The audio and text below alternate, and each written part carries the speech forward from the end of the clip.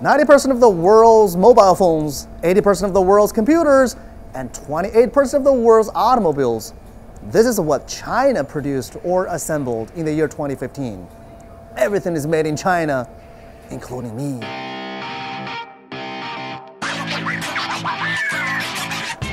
As American politicians keep on complaining their jobs being taken by China, where our jobs will probably be taken by robots, according to China's new manufacturing plan. We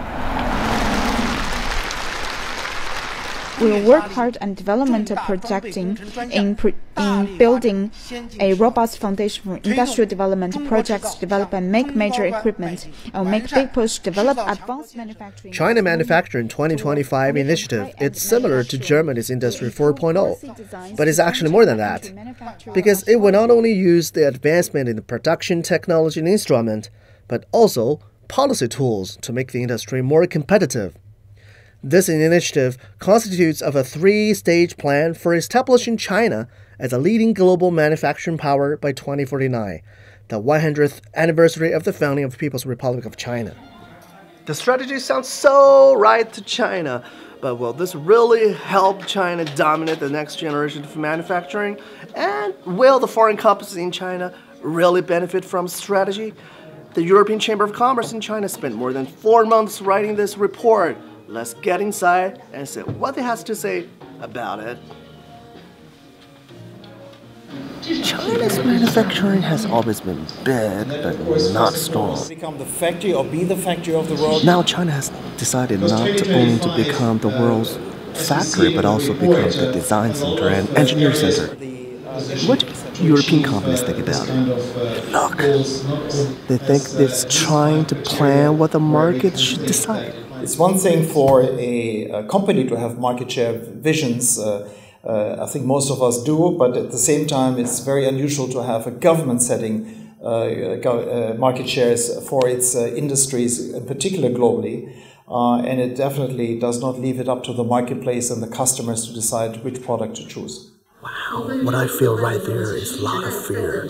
Not fear of how competitive a Chinese company would be like, according to this strategy, but fear of this as a government intervention. It's like a giant elephant stepped into a house and they have no idea of what this giant thing is going to do to them. The challenge for Europe is, of course, besides that we welcome Chinese, uh, in particular, entrepreneurial investment in our uh, region, is that if it is state driven, policy driven, on a on an industrial plan um, uh, driven uh, engagement in our economy, actually that might lead to market distortions in the European Union. I'm Tony Cho. I'm, I was made in China.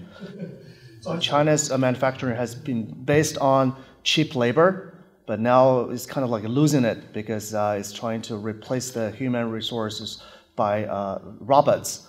Well, China has any chance of dominating the next generation of manufacturing? I guess it's a little bit too short to believe that you can fix China's manufacturing disadvantage with a shrinking working pool by throwing robots at the factories. So when you look into the design, the engineering, all of this, that requires good education. That requires basically good uh, IPR laws where your, where your invention is being protected. That requires that you have a global exchange of ideas and design, uh, which of course requires a rather free uh, internet. Well, it seems that European companies hate government intervention and only believe in free market. But some believe that appropriate industry policy is crucial for the newly rising industries of developing countries like China, where market infrastructure is not well built. 中国欧盟商会的这个报告当中所引用的，呃，绝大部分都是这个绿皮书上，啊、所发布的。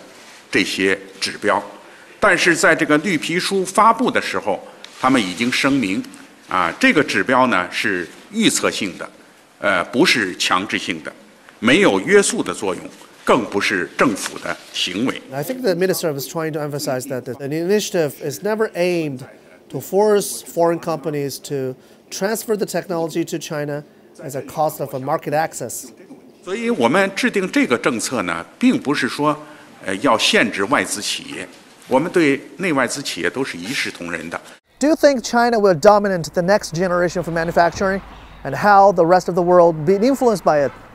Leave your comments below because I want to know what's on your mind. I'm Tony Cho, and see you next time.